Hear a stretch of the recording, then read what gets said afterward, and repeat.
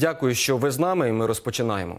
Британія передасть Україні ударні безпілотники з радіусом дії понад 200 кілометрів та сотні ракет для протиповітряної оборони. Про це повідомив британський уряд. Пишуть Reuters та The Guardian. Обіцяне озброєння доставлять найближчими місяцями. Сьогодні прем'єр-міністр підтвердить подальше постачання Великобританією сотень ракет ППО та додаткових безпілотних авіаційних систем. Нагадаю, президент України України сьогодні вирушив до Великої Британії. У Лондоні пройде зустріч Зеленського із Ріші Сунаком.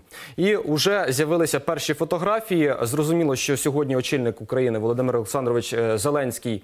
Е, У вояжі уже кілька європейських держав він відвідав. Зараз на ваших е, екранах можете побачити, як тепло його зустрічають у Лондоні. Ось е, перша фотографія із твіту прем'єр-міністра Великої Британії Ріші Сунака, а- друга із телеграму нашого президента Володимира Зеленського.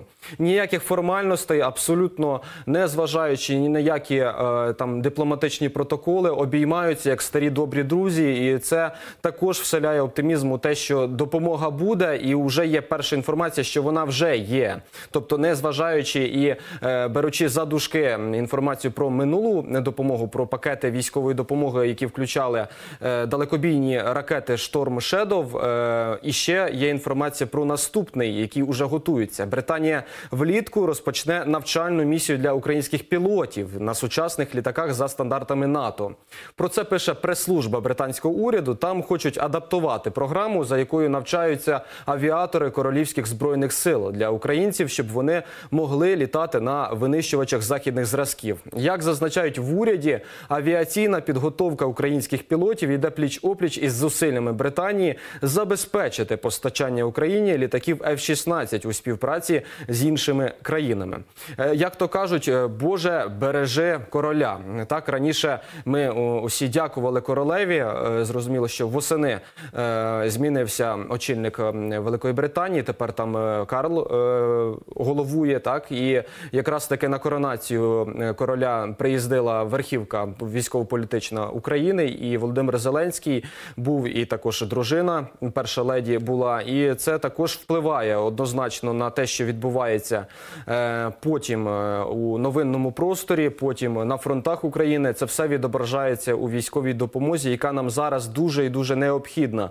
Зрозуміло, що воюємо із найбільшою державою за е, площею, найбільша країна світу Росія, Російська Федерація. Є такі припущення, що недовго вона буде найбільшою, тому що федерації мають властивості розпадатися рівно так само, як імперії, якою є насправді Росія е, за фактом.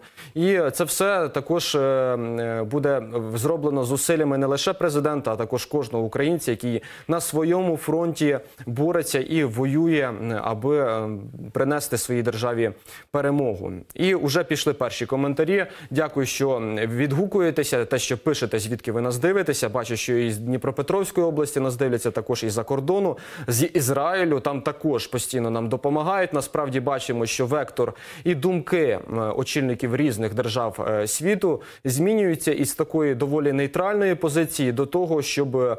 Е, Якомога швидше е, допомогти Україні здобути перемогу. Зрозуміло, що ніяких дипломатичних е, рішень найближчим часом не передбачається, тому що ну були намагання якось зупинити ворога саме таким чином на початку повномасштабного вторгнення. Однак ніяк він не прислухається до цього всього. Ну що ж, лишається лише їхньою ж зброєю з ними і воювати. А їхня зброя також потрапляє до рук наших захисників та захисниць дуже часто завдяки успішним